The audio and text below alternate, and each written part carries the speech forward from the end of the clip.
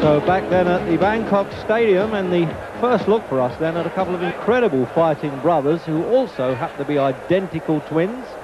And uh, here's Khaosai Galaxy then defending the WBA version of the Super Flyweight Championship. It's only 8-3 and he looks like a sawn-off Rocky Marciano there with only one defeat in 35. And he came into the game a bit late as a Thai kickboxer. At, uh, it's now 28. Here's the challenger Chung, also with a good record, as you can see there, Orient Pacific Super Flyweight Champion.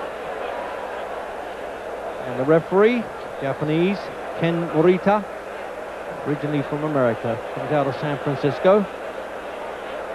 Scheduled then for 15, but the punching power of the Thai really is something to be seen. Sometimes a slow starter, but when he gets into action, you can see just incredible. He must have hollow legs. I don't know how he makes that weight. A rumour in Thailand that, uh, well, maybe one brother makes the weight and the other one steps in and does the fighting as a ringer because they, they really are lookalikes. And as the son of an identical twin, I know the feeling. Jim, if I said these were lightweights, would you believe me? Instead of eight stone three super fly is the new division. Yeah, I think I would believe welterweight. It's amazing the the the body they both have the shoulders and uh, even the legs. You expect them to have thin legs if they're, if they're making the kind of weight and uh, having a body like that. But I think what they have, they have a tremendous knack for getting, rid of body fluid. They can drag their weight down. I don't think they're eight stone three as we look at it now. Well, the Southpaw in the white trunks, then Galaxy. Looks as though he could be a bantamweight champion. Eight stone six, he looks as though he could be more than comfortable at that weight. And could probably get a lot more fights too, because there's a spate of bantamweights around the world.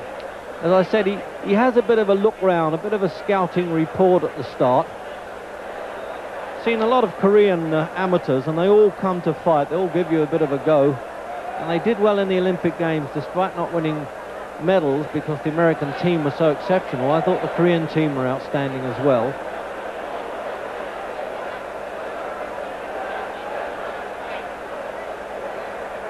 They're surprisingly disciplined, the Thailanders, uh, especially these twins, and we've seen Sot Chitalada, how effective he is as fly. You wonder where they get this style from. They're not wild fighters, are they?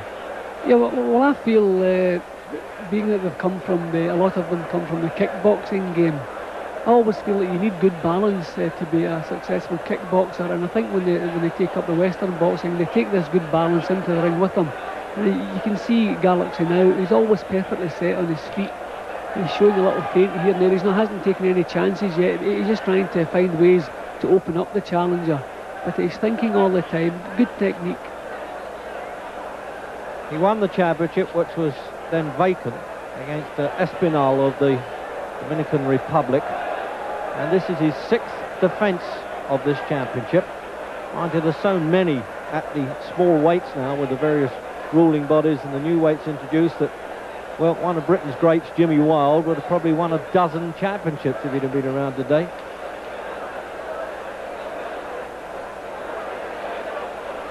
I don't blame Mr. Chung for being just a little bit hesitant. I think he's heard about Galaxy's punching power, 31 stoppages on 34 wins. So the judges become a little bit superfluous when he's around. The usual almost fanatical atmosphere in Bangkok.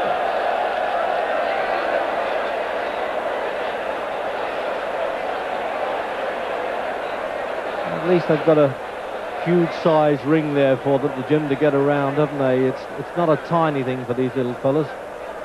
Yeah, but, but I think in the first round there, they, they both did a bit more thinking than punching, especially the champion here. You could actually see him trying to work out ways to draw the lead from Chung and get him with some counter punches. But he certainly looks very powerful. We haven't seen the power come to play yet, but he certainly looks powerful. Coming out for the second then. A lot of rubbing going down there. I wouldn't have thought he'd done enough exercise to, to need the massage in the corner there, the Thai champion. There you are, enthusiastic seconds, I suppose, get caught up with the atmosphere. And just like the, the look of the Korean Chung, actually, Well, I do there, he was well off balance. And if he does that too often, I think Galaxy will just tag in very nicely, thank you, with a counter shot. What a good style he's got, Galaxy, though. He's an action southpaw.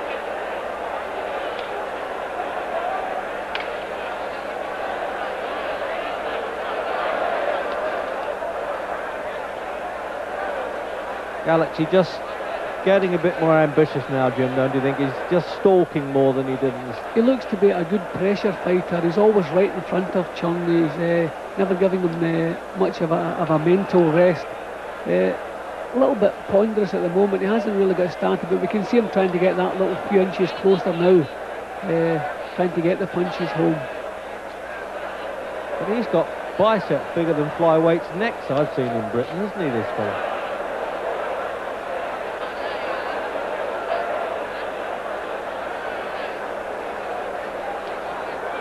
It's amazing, really. There's a certain myth that some heavyweights, for their weight, Jim, are not that great of punchers. But some of these fellas that fly and light fly and super fly and have not, they punch hard for their weight, don't they? Yeah, and, and I think